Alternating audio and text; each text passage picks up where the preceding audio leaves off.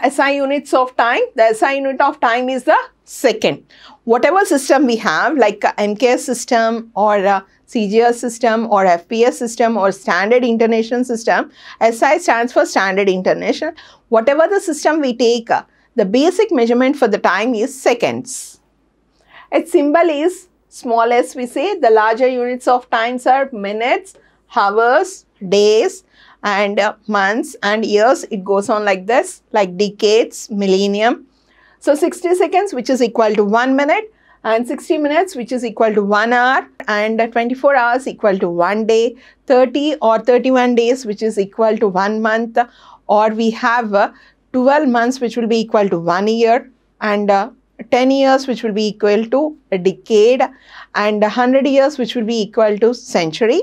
And then uh, 10 centuries will be equal to 1 millennium.